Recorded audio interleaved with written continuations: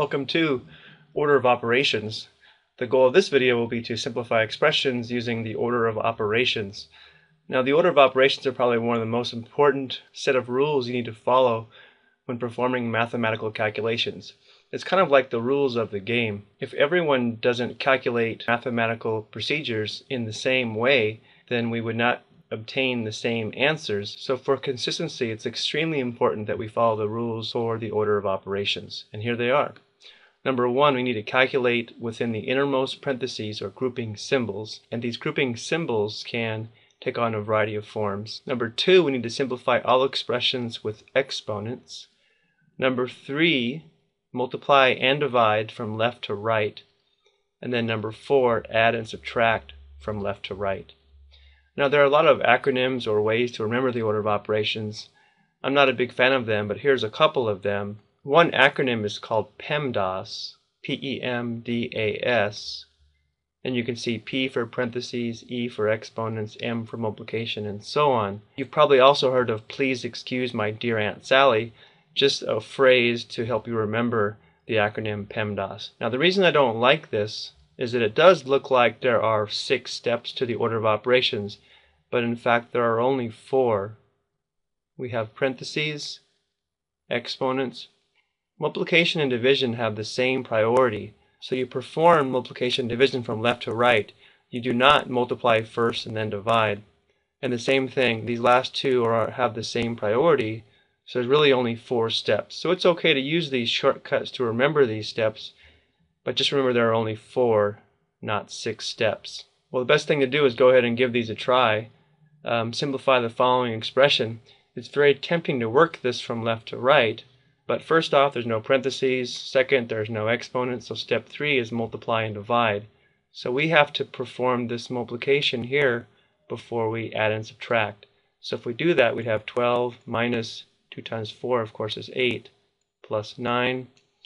Now, subtraction and addition have the same priority, so you work from left to right. The 12 minus 8 would give us 4, plus the 9 is equal to 13. Let's take a look at a few more. Here you can see it gets more involved rather quickly. And step one is work within the innermost parentheses. So we need to perform this operation first.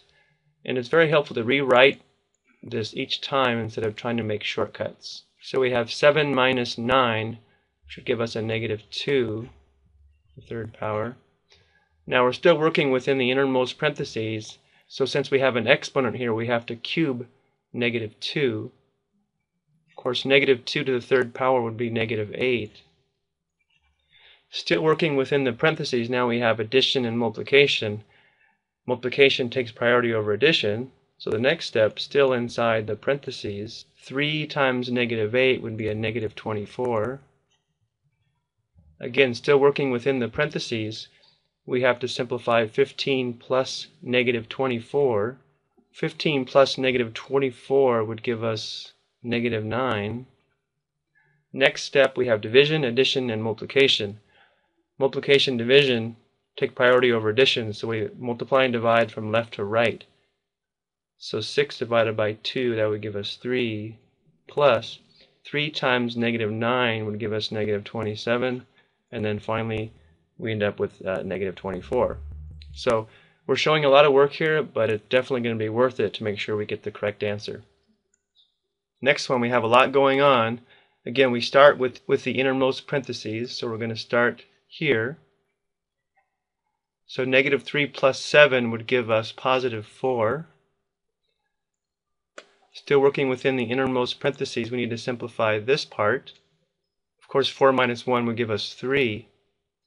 Next step, we need to simplify our exponents here and here. 4 squared is 16. 2 cubed is 8. Our next step is to perform multiplication and division as it occurs from left to right. So here we have some division, here we have multiplication. 20 divided by 5 would give us 4. 16 times 3 would give us 48.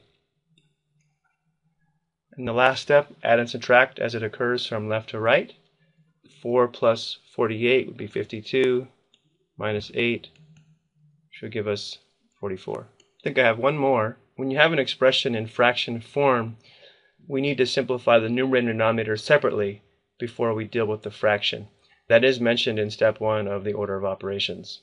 So let's perform the operations in the parentheses in the numerator. 6 plus 4, of course, would be 10. 6 plus 4 is 10. 7 minus 5 would be 2.